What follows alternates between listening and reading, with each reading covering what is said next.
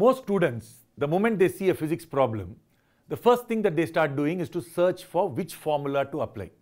So it becomes a formula search. That's not the best way to learn physics or to do physics. Let us look at this uh, question.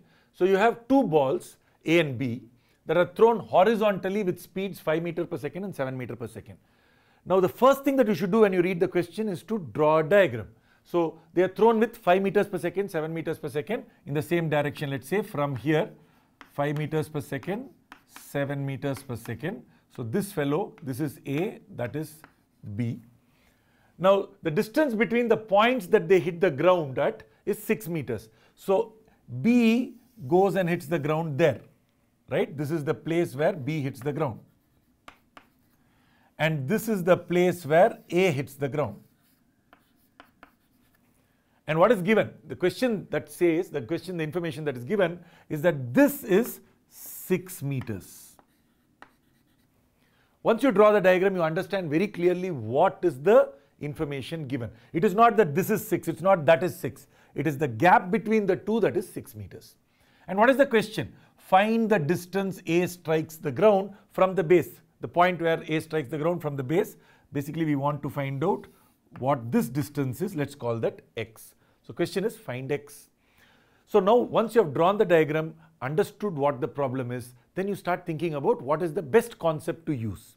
You can look for formulas from projectile motion, but that's not the best way to go about this. Instead, if you focus on the key idea that is there in projectile motion, when you throw objects horizontally, what is the single most important idea in projectile motion? The time of fall for this ball and the time of fall for that ball is the same.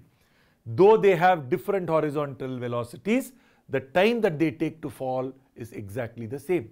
Now, once you remember that or know that, then you know that this distance must be 5 meters per second into t, 5t meters.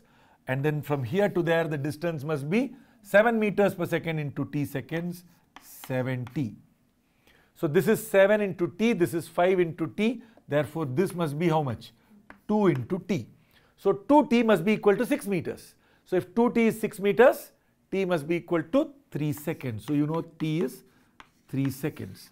Once you know t is 3 seconds, 5 into 3 is 15 and so you know that x is 15 meters. You see, solving the problem is extremely quick. Within 30 seconds, you can finish the problem if you got to know what the key concept behind the idea is. And once you apply the concept, the solution becomes quite easy. So two steps. First, understand the problem thoroughly, draw it, visualize the situation, then look at the key concepts. Don't just look for formulae. And when you're preparing for competitive exams like NEET or IIT, time is of real big essence. And you're not going to learn it just by looking at a lot of lectures or attending a lot of classes.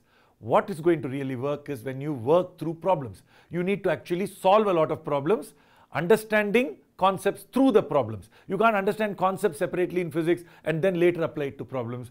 As you are solving problems, you'll understand concepts much, much better. So always learn by doing problems.